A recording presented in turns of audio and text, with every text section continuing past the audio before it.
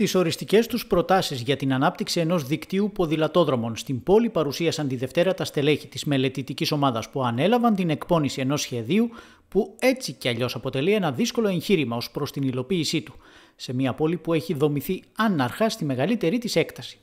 Ο Δήμος Ιωαννητών πραγματοποίησε τη Δευτέρα το τρίτο εργαστήριο για την ανάπτυξη του δικτύου ποδηλατόδρομων με στόχο την ένταξη του ποδηλάτου στην καθημερινότητα της πόλης. Οι προτάσεις, ωστόσο, δεν καθορίστηκαν από την τεχνική και μόνο ανάλυση των μελετητών, αλλά σε συνδυασμό με τις απαντήσεις που έδωσαν 400 περίπου συμπολίτες που συμμετείχαν στη συμπλήρωση ενός ερωτηματολογίου για το πώς θα ήθελαν να είναι εφικτή η χρήση του ποδηλάτου σε μεγαλύτερο βαθμό στην πόλη. Έτσι, οι μελετητές παρουσίασαν τις προτάσεις τους προς το Δήμο Ιωαννητών, που χαρακτηρίζονται από ενδιαφέρουσες έως σοκαριστικές, αν αναλογιστεί για παράδειγμα κάποιος ότι το βασικό σενάριο προβλέπει την πεζοδρόμηση της οδού Αβέροφ, κάτι βέβαια που προβλέπεται ούτως ή άλλως στο σχέδιο βιώσιμης αστικής κινητικότητας. Στις υπόλοιπες ευρωπαϊκές πόλεις θεωρείται αυτονόητο ότι στη δουλειά σου πρέπει να πηγαίνεις με δημόσια συγκοινωνία και όχι με γιοταχή. Γιατί, γιατί το γιοταχή είναι ένα μέσο το οποίο σου επιτρέπει να κάνεις και πολλά άλλα πράγματα που δεν ε, ταιριάζουν με την κίνησή σου προς τη δουλειά.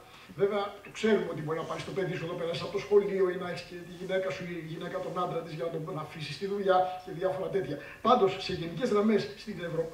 ευρωπαϊκές πόλεις, οι, οι πολιτικές αρχικά στοχεύουν στο να πηγαίνεις στη δουλειά με δημόσια συγκοινωνία. Για να καταλάβετε πόσο αλλού είμαστε εδώ.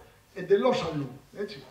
Ε, το δεύτερο που θέλω να σας πω είναι ότι ε, πολλοί κόσμος λέει ότι ακόμα και στη γειτονιά δεν αισθάνεται ασφαλής. Θα ήθελα να πω ότι ε, θα πρέπει να ξέρουμε ότι σε δρόμους γειτονιάς είναι πάρα πολύ δύσκολο να φτιάξουμε και εκεί υποδομές ποδηλάτου. Δεν, δεν υπάρχουν τόσα λεφτά και πουθενά δεν γίνεται. Η κυρίαρχη σκέψη των μελετητών είναι η ενσωμάτωση και σύνδεση κάποιων βασικών διαδρομών όπως είναι η διαδρομή του παραλιμνίου, από την πλατεία Μαβίλη μέχρι τον παραλίμνιο πεζόδρομο.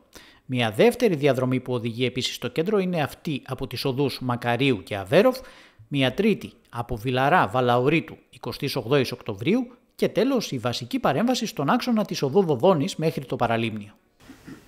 Ναι, κυρίως αυτό που προσπαθούμε να δείξουμε εδώ είναι το πώς θα ενσωματωθεί το ποδήλατο. Έτσι, δεν σας δίνουν τις ευρύτερες κυκλοφοριακές ρυθμίσεις.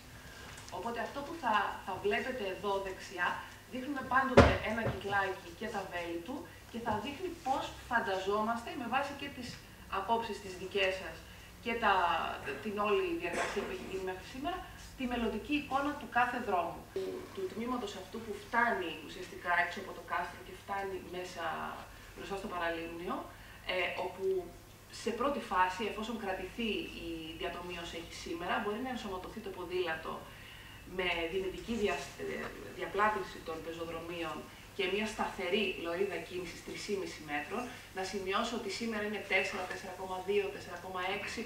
Οπότε σημαντικό στοιχείο για να μπει το ποδήλατο με ασφάλεια να του δώσει μια σταθερή λωρίδα κίνησης και για το αυτοκίνητο για να μην μπορεί να αναπτύσσει ταχύτητες και σε προτεραιότητα το ποδήλατο. Και φυσικά η τελική πρόταση την οποία ε, ε, έχουμε λάβει υπόψη και έχουμε δουλέψει είναι η πλήρης πεζοδρόμηση αυτού του, αυτού του τμήματος της οδού με μια απόδοση χώρου στον πεζό 5 και 3,5 μέτρα και ανάλογα έναν διάδρομο ποδηλάτου ενδεικτικό. Σε επίπεδο πλάτους πεζοδρομίων είναι σε ήδη όρημα έργα και χρηματοδοτημένα, ώστε να μπορούν όντως να γίνουν. Αυτή είναι και μια βασική κατεύθυνση που είχαμε, όπως σας είπαμε στην αρχή.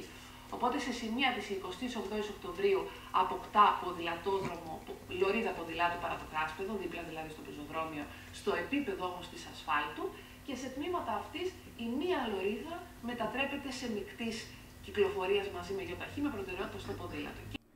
Εξαιρετικά ενδιαφέροντα ήταν τα στοιχεία που προέκυψαν από τις απαντήσεις των Γιαννιωτών για τη χρήση του ποδηλάτου, τις δικές τους προτάσεις αλλά και τους λόγους για τους οποίους μέχρι σήμερα δεν χρησιμοποιούν το ποδήλατο ως βασικό μέσο μετακίνησης. Ε, θεωρεί ότι δεν υπάρχουν ποδηλατόδρομοι και ειδικές λωρίδες για να κάνεις ποδήλατο. Ένα 68% ήταν πολλαπλών επιλογών αυτές οι ερωτήσεις, γι' αυτό και τα ποσοστά είναι διαφορετικά. Ε, ένα 68% οι οδηγοί δεν προσέχουν ποδηλάτες. Ένα 66% πιστεύει ότι δεν υπάρχουν δρόμοι στη γειτονιά του που να νιώθουν ασφαλείς για να κάνουν ποδήλατο. Το 61% θεωρεί ότι οι διασταυρώσεις είναι επικίνδυνες. Το 55% ότι ο φωτισμός δεν είναι καλός να κυκλοφορεί το βράδυ. Ένα 44% ε, εκτιμά ότι δεν έχει σημεία στάθμισης ποδηλάτων. Ε, το ίδιο ποσοστό ότι είναι, θεωρεί ότι είναι πολύ μεγάλος ο αριθμός των αυτοκινήτων και ένα 23% ότι βρέχει πάρα πολύ συχνά στην πόλη.